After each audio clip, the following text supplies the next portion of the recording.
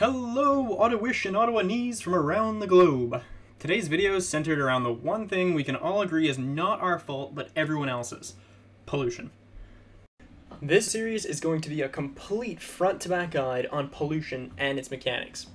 In this video, we're going to focus on the causes of pollution and what you need to know in building districts and infrastructure.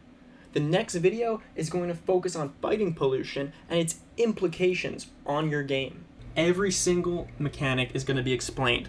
I go into detail on how the mechanics are applied, give real game examples, break down the numbers for you in real time. If you're a max minner, this is the perfect video for you. Timestamps are in the description if you want to skip around. But remember to hit subscribe before you do, not to miss any future content.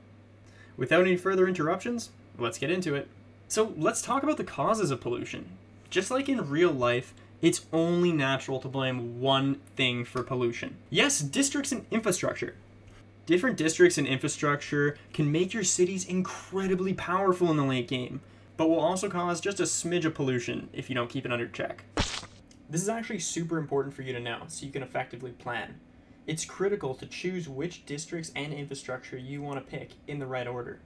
So let's take a look at the districts first, and then we'll dive into the infrastructure because it's a little bit more convoluted.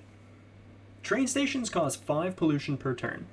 Keep in mind, train stations could actually be useful because if you're in a late game war, units can move between two train stations in adjacent territories for the cost of one movement point. If you place a train station in the right spot, you could move your units across the continent pretty cheaply. They also have half decent bonuses for adjacent makers' quarters at plus 5 production. Well, are you in dire need of prod and plan on warring and moving your units around quickly? They might be good, but we're going to talk about airports that are even better. Next up is aerodromes at 5 pollution per turn. You probably know already that your military air units need aerodromes to work. They can either patrol an area, meaning they'll attack hostile planes and engage in air to air combat, or they can be sent to attack cities or armies within 14 tiles. Are these guys worth building? Totally situational. Let's talk airports. Airports cost 15 pollution per turn, which is a lot. But while, although they pollute quite a bit, they offer a great deal of benefits. Pretty much threefold. One, aerial trade routes. The safest way to trade items is through the air. Keep an eye out for my upcoming video on a guide to trade. It's going to be a complete front to back thing, so make sure you're subscribed for that one. Second, unit movement. You can move your own units from one airport to another, and it costs just one movement point. That's absolutely crazy. You can move your units across your entire empire. And finally, they offer plus 5 gold per adjacent market quarters. Although they do pollute quite a bit, it's probably worth building at least a few in your empire just to be safe. Missile silos. Well, well, well, once again we come to nukes. But if you're a culture with an affinity for war, or you're just a gamer who loves nukes, if they tickle your fancy, so to speak, well, you're gonna need these, and I won't say much more than that. They cause 15 pollution per turn. Next, let's talk about infrastructure causing pollution. Now, infrastructure is probably the main cause of pollution because more than likely you've got quite a few makers' quarters or farms in your empire. The first one we're going to take a look at is coal plants. These come up pretty early, but they require you to have the forge, a charcoal kiln, and the high furnace. It offers 2 pollution per maker's quarters, but gives you plus 10 industry per coal, plus 2 industry on the maker's quarters themselves, and plus 1 industry per adjacent maker's quarters. Depending on how many maker's quarters you have, this is not really a bad shout. And if you can keep your pollution amount under control, definitely worth it in my opinion. The next step is the sawmill. The sawmill is the next step up from the lumber yard. It offers plus one pollution per maker's quarters, but gives you plus two industry on tiles producing industry. I'm not of the opinion this is super powerful, but I guess it's more situational. If you don't have a ton of maker's quarters, but you're working a decent amount of tiles with prod, it could be worth it. You just have to make that calculation in your head. Quarrying machinery. This is the step up from stoneworks. It's pretty much the exact same thing, but offers two pollution per maker's quarters instead of one. I love this image. You know, it's like, hey, you know, before you were Egyptians with no shirts on hauling rocks in the bare sun? Well, we're gonna jump right into Pippins. No technological advancement has happened whatsoever in between those two points. What the hell is the English word for Pippin? Backhoe.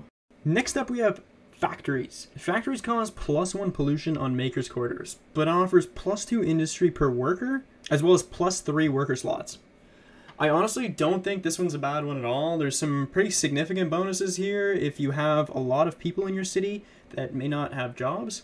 I feel like someone's dad that's about to burst into a long winded joke about Russia in the latter half of the 20th century.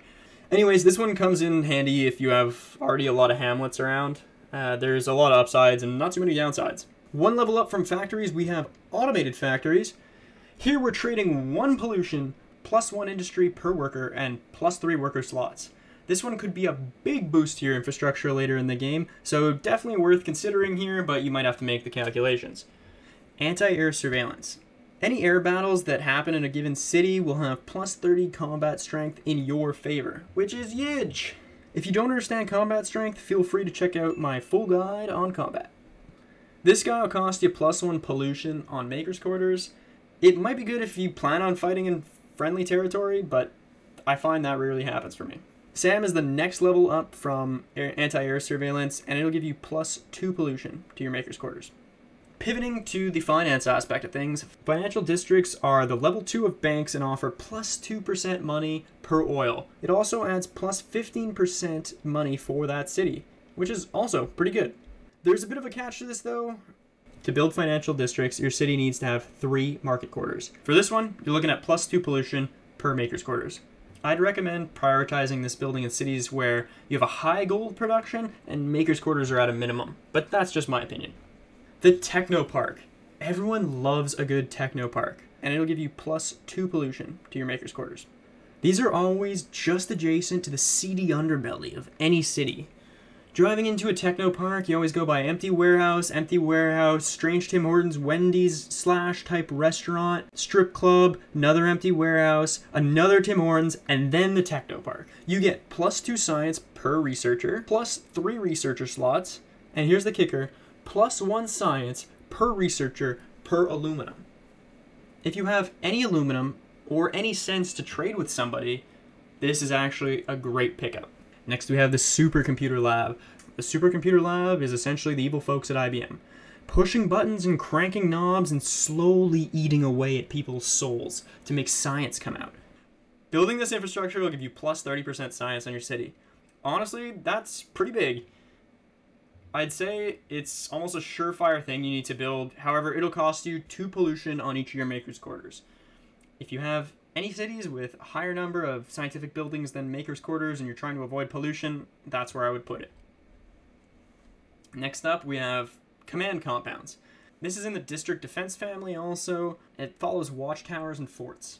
If you have three garrisons in a city, you can grab this for the low, low price of two pollution per maker's quarters it'll give you plus one combat strength when you're adjacent to a garrison and plus one vision from garrisons. Honestly, I would never build this. Now we move on to pollution coming from farms. We start with a farming factory. Oh, those dirty, dirty cows. Nothing like beautiful sheep. Sheep would never pollute the environment. Look at the beautiful creatures. Oh my days, grazing in all their glory. Look how majestic. So factory farming offers you plus two farmer slots and two food on your farmer's quarters, plus an additional two food per adjacent farmer's quarters. However, it'll cost you two pollution. I guess this one's kind of situational. It would depend on how many farmer's quarters you had and how desperate you were for food. In my opinion, this infrastructure is not really worth it unless you're playing very, very tall. Next, we come to industrial silos. So silos are the next steps up from grain silos. This will give you plus two food from your farmer's quarters and plus one farmer's slots. It will also increase your pollution by one per farmer's quarters. So that about wraps up the first part of this video series. If you liked it and enjoyed it, feel free to subscribe for some similar content. And I have some great news for you. There's a part two to this video. I've linked it up on screen now. It covers fighting pollution, the calculations, and how the mechanic actually works, as well as the implications and endgame. I'm still a super small channel, so even a simple like or a subscription is a huge help. And if you leave a comment, I'll reply to each and every one.